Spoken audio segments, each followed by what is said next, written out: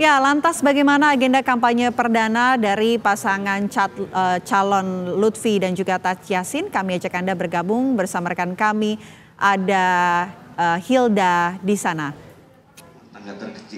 Hilda, bagaimana agenda dari pasangan calon Lutfi dan juga Taj Yasin hari ini?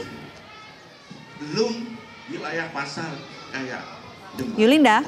Ya, selamat siang Bisa TV One. Betul sekali, hari ini saya sedang berada di Pondok Pesantren Asodikiah Semarang. Ini merupakan agenda ketiga di hari ini yang didatangi oleh Ahmad Lutfi selaku pasangan calon nomor urut 2 dan uh, berpasangan dengan Taj Yasin. Kemudian memang ini tadi pada pagi hari uh, Ahmad Lutfi ini melaksanakan agenda belusukan kedua pasar yang ada di Semarang yaitu Pasar Bulu dan Pasar Mangkang.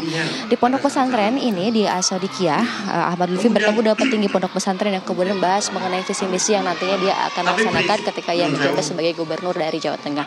Kemudian dari pembahasan ini ada membahas mengenai beberapa hal di antaranya ada membahas mengenai kondisi petani di Jawa Tengah sendiri baik UMKM di Jawa Tengah. Bahkan tadi Lutfi Ahmad Lutfi juga meng-highlight uh, begitu terkait UMKM pada saat COVID-19 ini yang memang akan menjadi fokus utama dari Ahmad Lutfi itu sendiri. Kemudian juga review sedikit pemirsa bahwa pada saat pengundian nomor urut ini pada tanggal 23 September kemarin ini Ahmad Lutfi dan Pak Yasin ini mendapatkan nomor urut 2 sesuai dengan keinginan dari paslon ini karena nomor 2 merupakan simbol dari hasbunallah wa ni'mal wakil. Kita sekarang melihat di sini Ahmad Lutfi sedang berdialog itu dengan pimpinan pondok pesantren kemudian juga dihadiri oleh para awak media. Ya, kemudian memang ini pada saat kemarin deklarasi Bekal Damai di Gedung KPU Jawa Tengah, ini Ahmad Lutfi menyatakan bahwa kampanye ini harus sejuk karena pesta rakyat harus meriah untuk saling menyayangi, saling mengasihi. Dia juga menyatakan bahwa siapa pun pemimpinnya adalah putra terbaik bagi Jawa Tengah. Jika dilihat dari background paslon ini, masing-masing pasangan calon gubernur yaitu baik Andika Perkasa ini merupakan dari mantan Panglima TNI periode 2021 hingga 2022 kemudian juga Ahmad Lutfi yang saat ini pemirsa saksikan di layar kaca pemirsa. Ini merupakan mantan Kapolda Jawa Tengah periode 2020 hingga 2024 sementara untuk para calon wakil gubernur ini sebaliknya. Mereka ini merupakan uh, berpengalaman di bidang politik. Begitu Andika Perkasa berpasangan dengan Hendra Prihadi yang merupakan uh, mantan wali kota Semarang periode dua periode, kemudian juga Ahmad Lutfi dan uh, wakilnya yaitu Taj Yasin Maimun ini sempat menjadi wakil gubernur Jawa Tengah yang berpasangan dengan Ganjar Pranowo. Begitulah kembali ke Anda dari studio. Baik, bagaimana dengan agenda kedua paslon ini untuk uh, berikutnya dan juga hari esok?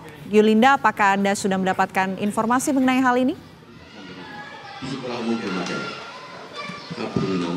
Ya, pemirsa ya, betul sekali. Memang untuk hari ini kami baru saja mendapatkan informasi bahwa ini dari jadwal Ahmad Lutfi sendiri dari pesantren ini adalah jadwal terakhir di hari kampanye pertama ini. Kemudian juga untuk esok hari ini masih belum kami masih mendapat mencari konfirmasi ataupun meminta keterangan dari pihak media maupun pihak Ahmad Lutfi sendiri untuk kegiatan di esok hari begitu. Eponi kembali ke Uh, mungkin Anda bisa gambarkan bagaimana suasana di lokasi begitu uh, respon dari masyarakat dengan uh, kampanye perdana yang dilakukan oleh pasangan Lutfi Yasin hari ini di sana. Bagaimana respon masyarakat Yulinda?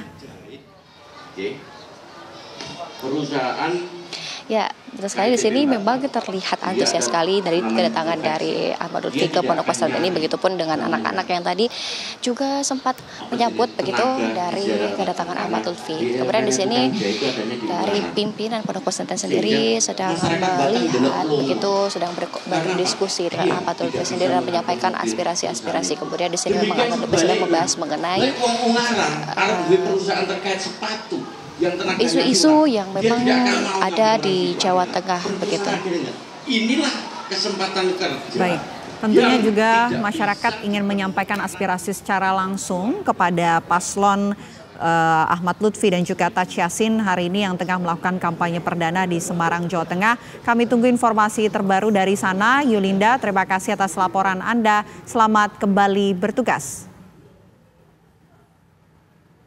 Ya pemirsa itu tadi kita sudah mendengarkan laporan dari rekan kami Yulinda yang saat ini berada di Semarang Jawa Tengah mengikuti agenda dari salah satu paslon dalam Pilkada Jawa Tengah begitu yakni paslon Lutfi dan juga Tachiasin yang uh, melakukan agenda kampanye perdana menemui sejumlah masyarakat di Semarang Jawa Tengah. Tentu juga kami akan mengupdatekan uh, menghadirkan informasi terbaru mengenai agenda kampanye perdana dari paslon-paslon lain tapi kami harus jeda terlebih dahulu pemirsa. Usai jeda Breaking News TV One masih akan kembali untuk Anda bersama Fahada Indi.